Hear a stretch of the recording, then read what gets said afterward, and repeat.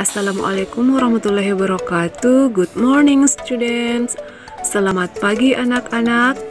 How are you today? Bagaimana kabarmu hari ini?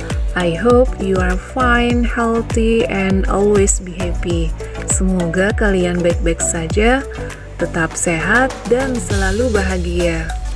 Before we start our lesson today, Sebelum kita memulai pelajaran hari ini, Ananda silahkan siapkan buku catatannya. And let's pray together. Yuk kita baca doa dulu. Are you ready to study? Apakah kamu sudah siap belajar? Let's start it. Yuk kita mulai. Today we are going to learn English about expressions about compliment ekspresi tentang pujian. Masuk di chapter 8, bab 8, What a tall boy, artinya sungguh anak laki-laki yang tinggi. Part A, bagian A, listening. Listening artinya mendengarkan.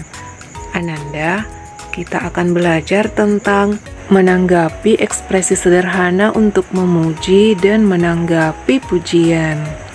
Sekarang listen and repeat. Dengarkan dan ulangi. The first picture, gambar pertama adalah clever. Clever artinya pandai. The second picture, gambar kedua adalah tall. Tall artinya tinggi. Gambar selanjutnya adalah beautiful. Beautiful artinya cantik. Gambar di sampingnya adalah handsome. Handsome artinya tampan. Selanjutnya adalah fat. Fat artinya gemuk. Gambar di sampingnya thin. Thin artinya kurus. The next picture is old. Old artinya tua. Gambar di sampingnya adalah yang yang artinya muda. The next picture is short. Short artinya pendek. Gambar di sampingnya adalah long. Long artinya panjang. Nah, sekarang kita ulangi kembali ya. Number one, clever. Clever artinya pandai. Number two, tall tall artinya tinggi. Number three, beautiful. Beautiful artinya cantik. Number four, handsome. Handsome artinya tampan. Number five, fat. Fat artinya gemuk. Number six, thin. Thin artinya kurus. Number seven, old old artinya tua. Number eight, young. Young artinya muda. Number nine, short.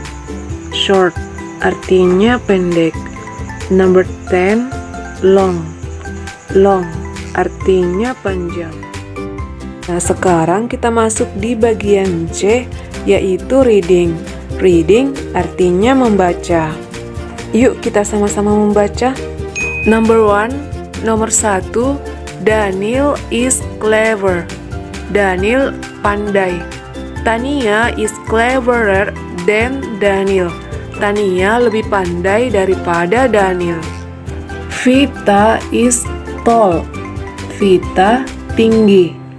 Tito is taller than Vita. Tito lebih tinggi daripada Vita. Ananda silahkan ikuti ya.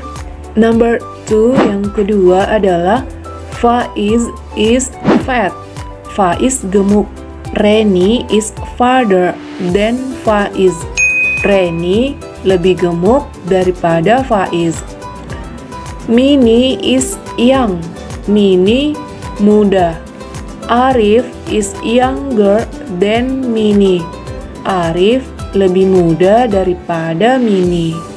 Kita lanjut lagi ya, masih semangat. The next, number three. Yang ketiga, Uncle Johan is old. Paman Johan tua.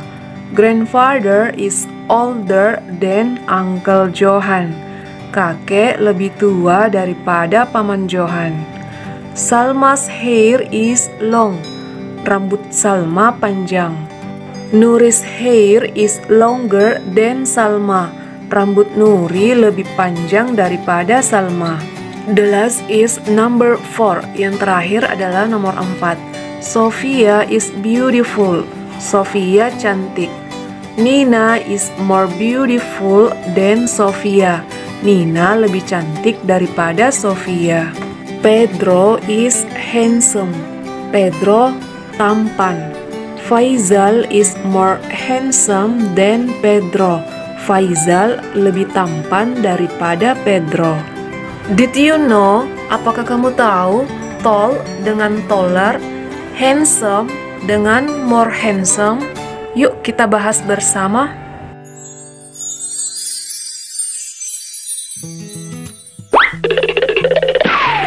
Tall artinya tinggi, jika ditambah R maka menjadi taller, artinya lebih tinggi. Fat artinya gemuk, jika ditambah R jadinya fatter, artinya lebih gemuk. Tall dan fat itu termasuk satu syllable. Satu syllable artinya satu suku kata. Sedangkan untuk dua suku kata atau lebih seperti handsome more ditambah handsome jadinya more handsome, artinya lebih tampan. Beautiful yaitu tiga suku kata, more ditambah beautiful sama dengan more beautiful, artinya lebih cantik. Jika dua atau lebih suku kata, maka menggunakan more. More. More artinya lebih. I think that is all for our lesson today. Sampai di sini dulu materi kita hari ini. Tetap di rumah saja. Keep health and stay at home. Wassalamualaikum warahmatullahi wabarakatuh.